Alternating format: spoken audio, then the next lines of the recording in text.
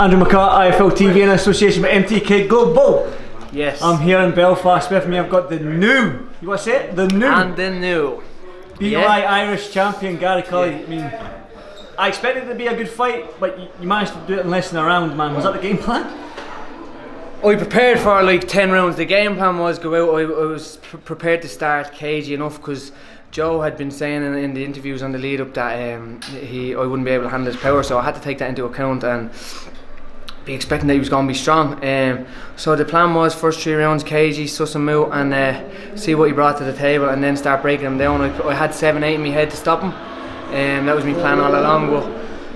But I had a feeling in my head the whole week. I've been saying to uh, Kevin, the whole week I'd been saying I just have a feeling that I'm going to catch him and he's going to go because I think he under. I think you underestimated. Uh, thank you. All right, I'll see you later. Cheers. Um, I think he underestimated my power. So I, t- I had a feeling in my head all week that if I if I catch him early, he's going to buckle, and he did, thankfully enough. I think I've been uh, five or six. Years, no, You've done a good I've been quite a good few of your Yeah, fights yeah. anyway, and I've never seen the explosiveness, the explosiveness of your, your backhand Mm. to have tonight. Is that something you've been working on with Pete in the gym? Yeah, like uh, um, we were, I was out for six months, but I couldn't throw my backhand.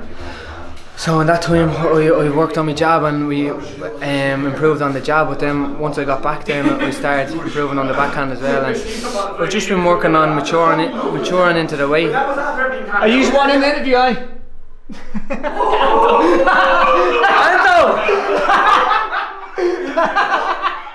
Sorry, sorry, sorry, Anto. Hey. Okay, sorry. Uh, aye, what were we saying now? I have no idea. How do you know what my question? Do you remember this interview was? Uh, Anto's going to kick my ass, man. I'm, I'm going to apologise to him in a minute. So, um, Can we get somebody else over here to do my interviews? Yeah, backhand. Oh yeah, yeah, Backhand, yeah. yeah. No, I've sure. just I've just been working on uh, maturing into the weight. I've been doing a good bit of strength and conditioning, and I weighed in nine stone nine on the button. Like I'm, I, I want to just touch the weight and be very, very strong at the weight, and uh, I feel like I'm, I'm maturing into the weight, and I'm, I'm very strong at it. And I don't think that's something Joe took into account in, the, in his camp.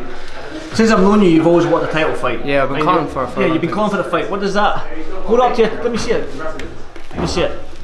It's a nice belt, eh? Yeah, What does that belt mean to you right now? Yeah, it's it's a massive achievement. Um, prestigious, prestigious belt. Being champion of your country is something that I wanted to do. I always wanted to take the traditional route, go Irish, um, European, and then world. And I got frustrated coming towards the end of last year. I didn't think I was going to be able to do that because no one would step up. And credit to Joe, I said it in the press conference. Um, both of us didn't have to take this fight at this stage of our career. He could have easily built up to 15, 16 and 0 fighting nobodies. But credit to him, he stepped up. He wanted to prove himself, and I was just better tonight.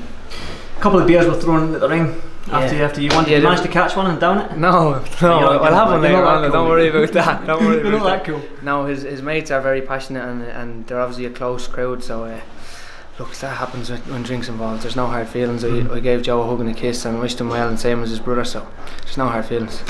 I spoke to Pete Taylor, done a quick interview with Pete as you were celebrating in the, the changing room there. I said, How good is Gary Cully? His words was, He's the Irish Tommy Hearns, but Southpaw. How does that make you feel? And does that put pressure on you when somebody gives you that so much, like puts something like Tommy Hearns on, on your name? No, I believe in myself as well massively, and uh, uh, not in an arrogant way, but I just, I just, I just believe that uh, I can go all the way, and I'm not, in, I'm not in. This is a very, very hard sport, so I'm not in it just to fucking tip around and, and uh, get brain damage and not make money. I want to make lots of money out of this, and I want to be a superstar. Buy me So some trainers. yeah, of course, yeah, we'll go I'll shopping hold you someday. to that. Well, Another thing- my debut in Vegas, we'll go buy trainers, There you go. I'm holding you to that. Do you hear that? And it's on camera. It's on camera. Hey, Ian, that's there. He's on hey, That's the main man. Get it done. Uh, I finally, before I let you go, because obviously there's a lot of media here. I want to talk to you as well. So, another thing, Pete Taylor, that I found interesting. What he said was that you'd be world champion in 18 months. Yeah. It means that again pressure, and are you ready for it? Like I, I think that that fight tonight proved that I, I don't need to be fighting on this level. Um, I, I, I wanted to win the belt and I wanted to become Irish champion, but I think that proved that I'm ahead of this level. So I'd like to step on soon.